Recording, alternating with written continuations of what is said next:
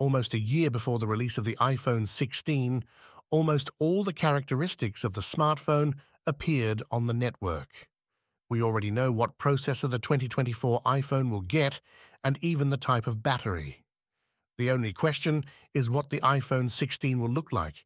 Insiders report that there will be no major external changes, and we will most likely get the same gadget as the last three years.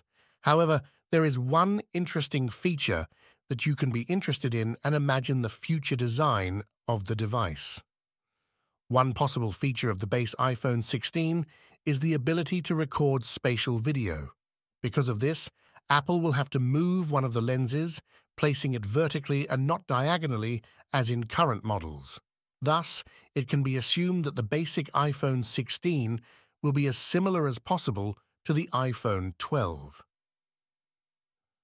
Now I will tell the known details. Let's talk about iPhones. The profile publication MacRumors suggests that there are currently various prototypes of the iPhone 16. As you can see, the new smartphone will be very similar to the iPhone 12 or will be close in spirit to the iPhone 10 and iPhone 10 SEs. Due to the dual lens under the one-piece protective glass, of course, the design of the iPhone 2020 is much fresher than that of the 10s, but against the background of the current diagonal arrangement, both feel a little outdated. According to the publication, this is exactly the type of camera unit Apple is considering in the iPhone 16, including the location of the flash on both smartphones. It is on the same level. Pay attention to the features of the iPhone 16 case. The new faces are made in the style of the iPhone 15 Pro. They are rounded, which makes the smartphone objectively more comfortable to hold in the hand. And the insider confirms that even the basic iPhone 16 will get an action button. This is an action button that is located in the place of the silent mode switch. However, at first they wanted to place a unified button on the smartphone body that would work on the basis of a haptic engine, but the idea was not accepted. They decided to leave it mechanically. At the same time, the camera block in all three layouts, as before, protrudes above the body and does not allow the device to lie flat on the table. You will have to wear a tight case to fix this and protect the iPhone from shocks. However, here's what I noticed on all the prototypes.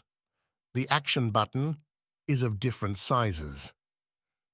Please note that a new capture button for working with the camera has appeared on the right side of the iPhone 16.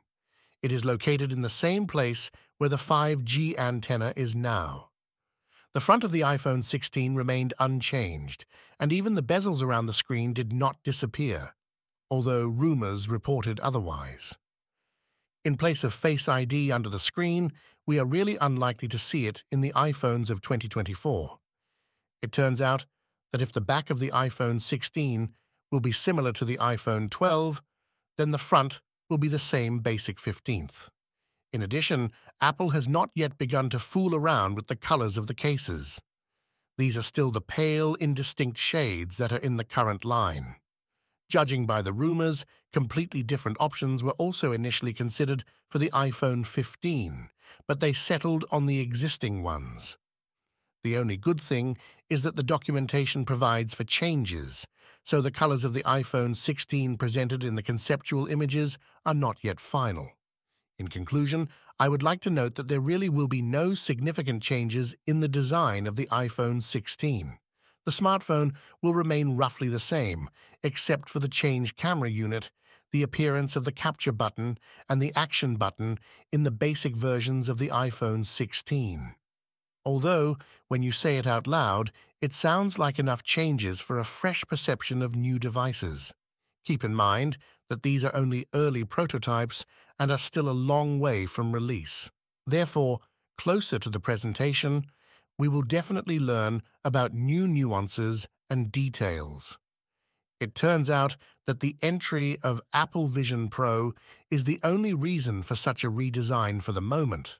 This option is available only in the iPhone 15 Pro and Pro Max with iOS 17.2 on board, in which, compared to the iPhone 14 Pro, the telephoto lens and the wide-angle camera have been swapped. Considering that the Apple Vision Pro mixed reality headset should go on sale sometime in early 2024, it is quite logical to assume that in the next year, the basic flagships will also support the ability to record spatial video at a minimum.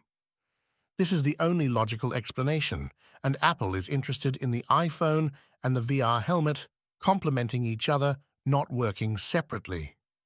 But here's an interesting question. Which iPhone do you think had the best design? Simply put, which iPhone has the most attractive appearance? I suggest leaving your answers traditionally in the comments under this video.